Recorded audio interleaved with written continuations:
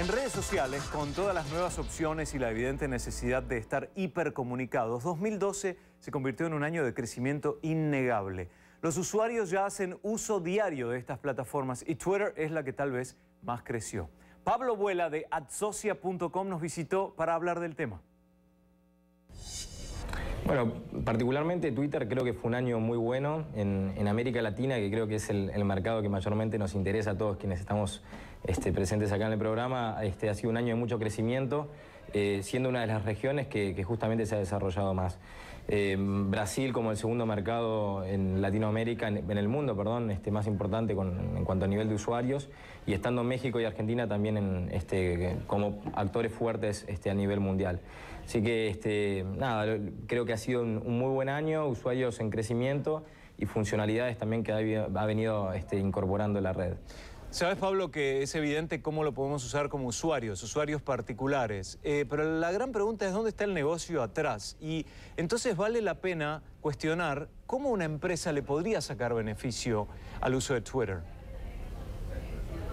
Sí, yo creo que en, lo que tiene que ver con empresas existen oportunidades para tanto empresas de productos como de servicios, tanto para pymes como para multinacionales. O sea, Twitter puede ser un canal de atención al cliente, por ejemplo, muy potente eh, y es el caso de muchas empresas que ya en América Latina lo están eh, comenzando a utilizar de, esta forma.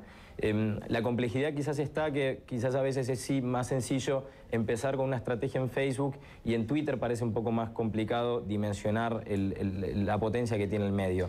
Pero ya creo que son cada vez más las empresas que a raíz de justamente el crecimiento de los usuarios en Twitter se empiezan a animar eh, implementando justamente una estrategia pensada para esta red. Y ustedes en AdSocia crearon un ejemplo. ¿Cuál es y cómo funciona? Nosotros desarrollamos una plataforma eh, que permite hacer campañas publicitarias en Twitter con famosos, que es justamente AdSocia, eh, y como un spin-off eh, creamos, que, es algo interesante mencionar, una aplicación que permite hacer sorteos automáticos en Twitter, que se llama SortTweet. esto, sobre todo para las pymes, es muy interesante. En Internet los usuarios se motivan mucho por los beneficios y por los sorteos, con lo cual si queremos pensar una estrategia específicamente pensada para Twitter, sin importar quizás el tipo de empresa que tenemos, consideremos el hecho de poder estar sorteando cosas a nuestros usuarios, eh, en, la mayoría de los casos a cambio de que el usuario empiece a seguir a nuestra cuenta. Eh, las experiencias que estamos teniendo son muy buenas en la región, este, así que bueno, hay, hay, muchos casos como para contar. Ahora, el cliente, las pequeñas y medianas empresas, una empresa grande, ¿comprende cómo ha habido un cambio, una redirección del uso hacia las redes sociales, en este caso particular Twitter, o todavía no lo comprendió?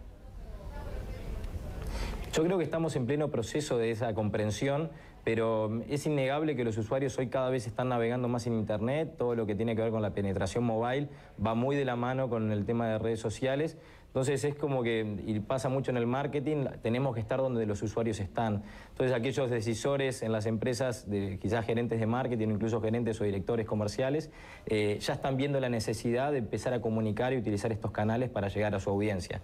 Cuando pensás en Twitter, ¿pensás en una persona que lo utiliza en forma móvil o estática en casa o con una computadora en un escritorio? Basándome en las estadísticas propias de Twitter e incluso en su propio nacimiento, desde ya que está pensado para un consumo mobile eh, y es así como se está dando también en la región. Con lo cual eh, todo indica que con el crecimiento de venta de smartphones en todos los países de la región, eh, Twitter probablemente se apoye y siga creciendo de la mano con eso. ¿Y hay alguna cuestión que en realidad el empresario no comprende con respecto al poder de Twitter. Se me ocurre, por ejemplo, que es más que nada una mm, coexistencia de varias plataformas, ¿no? Tenemos Twitter, tenemos televisión, yo lo veo a diario con los noticieros, cómo la gente eh, hace multitareas, está mandándome un mensaje, a la vez está viendo el noticiero. ¿Hay eh, alguna, algún aspecto que habría que remarcar que no está bien comprendido? Eh, pasa mucho que este, Twitter es un poco más difícil quizás de comprender que Facebook Eh, pero es cuestión de, empezar a utilizarlo para darse cuenta del potencial que tiene. A nivel empresas y sobre todo quizás en las pymes, muchas veces la dificultad eh, y, la falta de justamente una apuesta a este tipo de medios es entender cómo estos medios, cómo invertir tiempo en estos medios me va a hacer tintiñar la caja y me va a hacer ganar dinero. Eh, pero una vez que se empieza a comprender que este es un canal de atención al cliente y además de posicionamiento de marca, eh, se empieza a notar el impacto que esto puede tener incluso hasta en las propias ventas de la empresa. Eh, creo que es un proceso en el cual naturalmente lo estamos viviendo tanto en la región como en el mundo. Pablo Vuela, en diálogo con Clicks desde el Buró de Buenos Aires. Pablo es ejecutivo de AdSocia y su base es la ciudad de Montevideo, en Uruguay. Ya volvemos.